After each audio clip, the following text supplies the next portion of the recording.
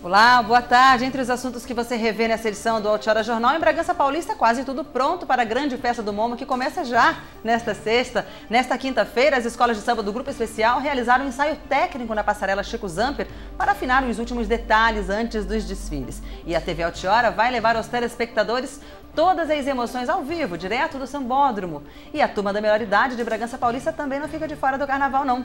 Você confere ainda todo o esquema montado pela Polícia Militar para garantir a segurança e a integridade das pessoas nesses dias de folia, nesta que é a maior festa popular brasileira. Em um minuto e meio, no Altiora Jornal.